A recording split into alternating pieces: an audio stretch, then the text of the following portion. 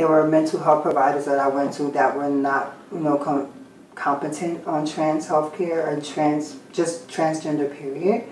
And um, it was hard because it was like I had to teach them how to treat me when I was actually going there for help. And the same with certain doctors, you know, who weren't fully competent on hormone levels or, or, or giving you hormones or knowing what you're going through daily. It was always that struggle of, is this the doctor that I'm going to go to where I'm going to have to explain myself?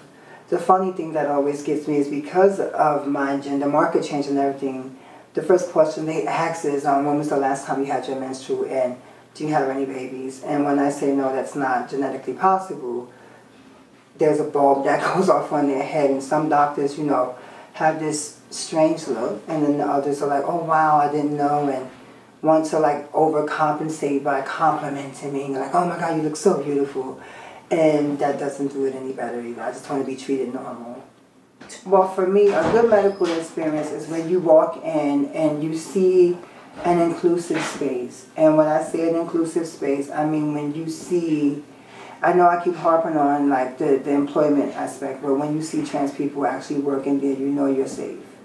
Or when your paperwork is inclusive enough, when it can actually have a space where actually sex assigned at birth and gender identity, because that removes some of the barriers to unwanted questions, like when was your last menstrual, when I don't necessarily get that. Or asking me about mammograms and pap smears, and when I know that I will never get that, or I haven't had that yet.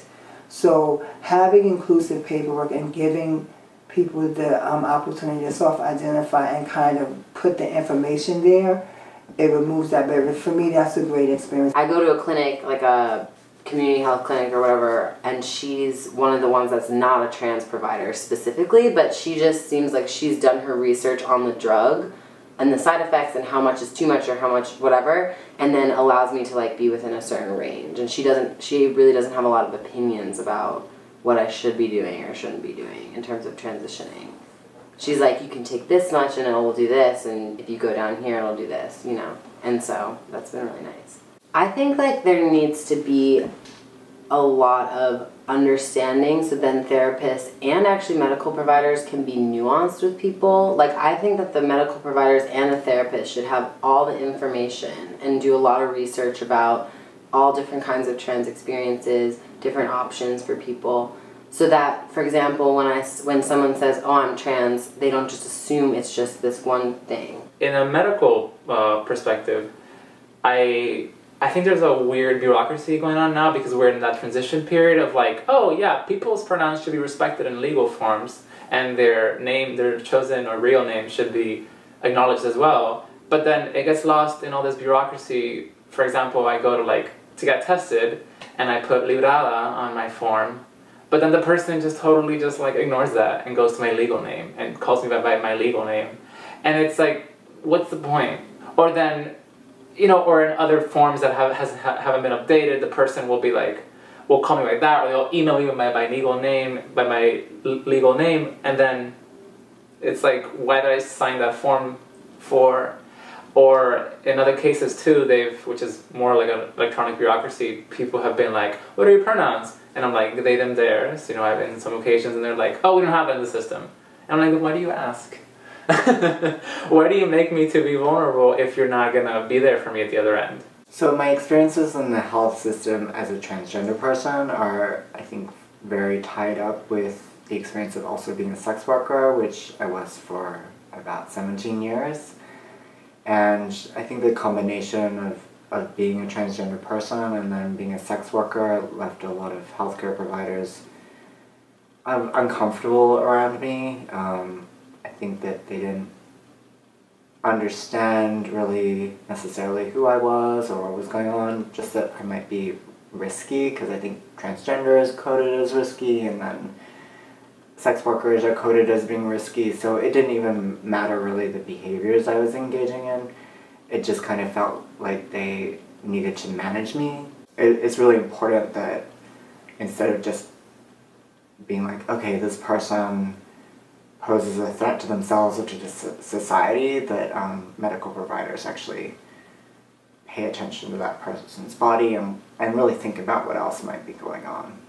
I do have a medical provider that understands me now, and every time I go and see her, she's great, right?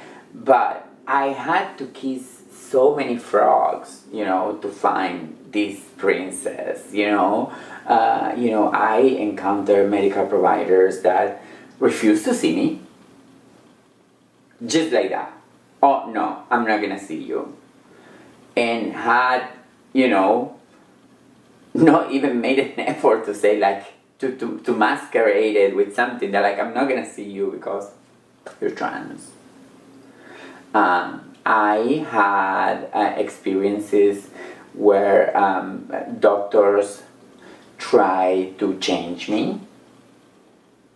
They, um, I guess, they felt like they had the right to uh, talk me into not being trans um, I had experiences where I was asked intrusive questions uh, about my genitalia, uh, about what my plans for my genitalia were, uh, and um, basically they tried to tell me what to do with my body when I believe that being trans is actually taking control of your body and not doing what other people want. So I had um, a lot of terrible experience. I had like you know uh, disrespectful experiences, um, but a good experience uh, uh, is an experience that is seamless. That is like like anybody else like you know i'm not looking for that experience where like my gender is elevated and like transness and trans flags eh, in the back uh, wall you know i'm looking for just an experience. Hi who are you? What's your problem? This is how you think we can fix this problem. And if it has something to do with my body let's talk about my body. But if it doesn't, let's not go there. I live with psoriasis, that is a skin disease that happened mostly in my, in my elbows. One time I went to a dermatologist that asked to see my genitals. And I told him, I don't have psoriasis in my genitals. And he said, I just need to check. And it made me feel terrible borderline violated. And um, it's not something that will encourage me in the future to seek medical services again.